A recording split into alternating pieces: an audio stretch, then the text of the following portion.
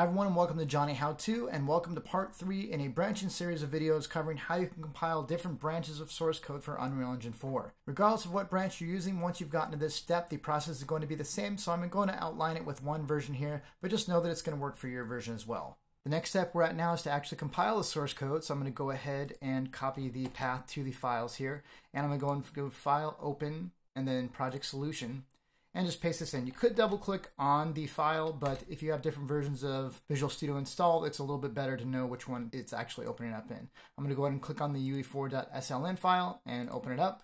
And if there's any extra files it needs in order to load the file correctly, you can go ahead and choose to install them right away. But once everything's installed, you should be able to open up the project without any issue. And there's just a couple things you need to make sure that you check before you go ahead and build the solution. First thing is you want to go ahead and make sure in this dropdown is set to development editor. You want to make sure you're building for Windows 64. And then in the engine folder, you're going to right click on UE4 and choose build.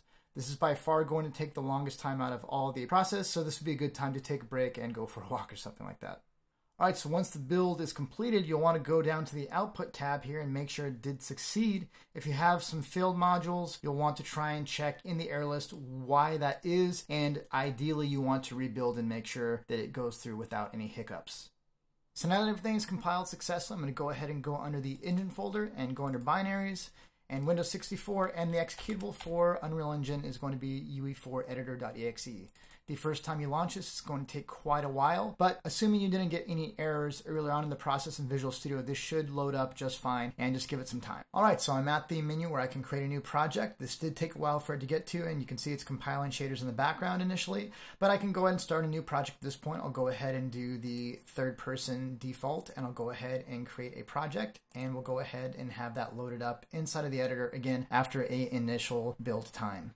All right, so as the last of the shaders are finishing compiling here, you can see I am in the third person template right here and everything seems to be running fine. If I go and click play, I can go ahead and run the engine as if I download as binary, but with all the branching technologies, if you chose to download those and compile those, included inside the engine. Something that's important to mention about any built version of Unreal Engine you do in Visual Studio is the folder size. You can see right now I'm at about 53.3 gigabytes. I've seen this significantly larger as well, and that's typically obviously not something you want. Now you can significantly cut down this size by going into the engine folder and there is an intermediate folder right here that's used just when Visual Studio is building. If I right click on this, and we compare these two folders, my overall folder size is 53.3, but I have about 15 gigabytes just of extra intermediate stuff that I can delete and still have the engine run absolutely perfectly.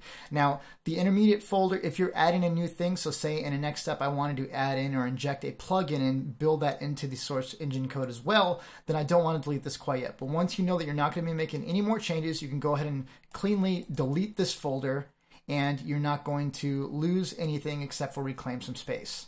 Now you know how you can take any source code of Unreal Engine, whatever it might be, whatever branch, and go through the process of compiling. At this point, your source build of Unreal Engine is complete, though if you want to inject a plugin, go ahead and check out the next video, and I will cover that in there. Thank you very much, everybody, for going through this process with me, and I will see you on the next Johnny HowTo.